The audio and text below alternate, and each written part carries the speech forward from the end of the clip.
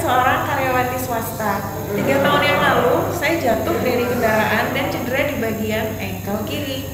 Rasanya nggak nyaman banget. Saya datang ke Kinetic X untuk mengobati cedera ankle saya. Halo guys, hari ini Kinetic X akan share tentang penanganan terhadap cedera ankle.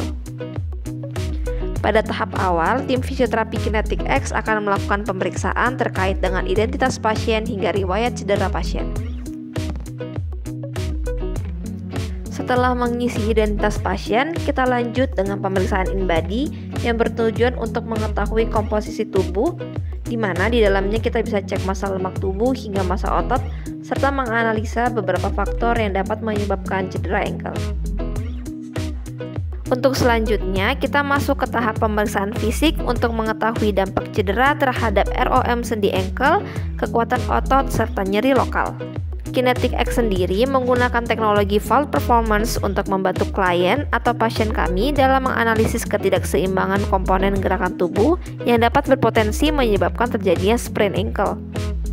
Step awal yaitu pemasangan sensor pada kedua tangan dan kaki berguna sebagai alat pendeteksi gerakan.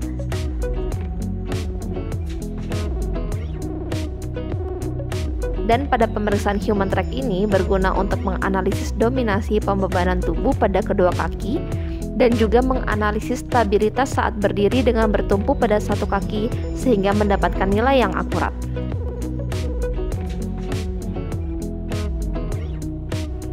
Tim fisioterapi kinetik X akan menjelaskan hasil pemeriksaan sehingga membantu pasien kami memahami kondisi fisiknya saat ini.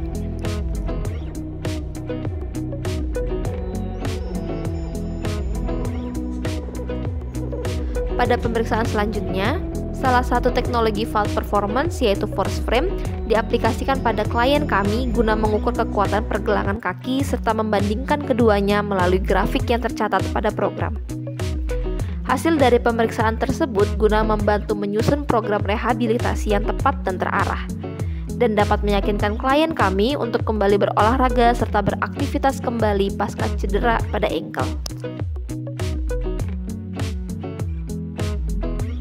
Untuk mengetahui seberapa besar perbandingan kekuatan tungkai kanan dan kiri saat menempuh berat badan, digunakan salah satu vault performance yaitu force deck. Di sini klien kami melakukan gerakan squat beberapa kali, di mana hasilnya akan tertera pada layar komputer.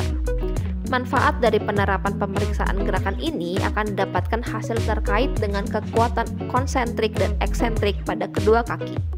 Nantinya, hasil dari pemeriksaan ini dapat digunakan untuk membantu menyusun program rehabilitasi hingga program kembali berolahraga. Sprain ankle atau keseleo pergelangan kaki adalah cedera yang paling umum terjadi, baik di kalangan remaja, dewasa, hingga orang tua.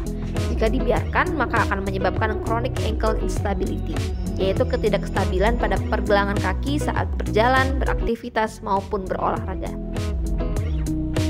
Sampai bertemu kembali di sesi berikutnya. Terima kasih.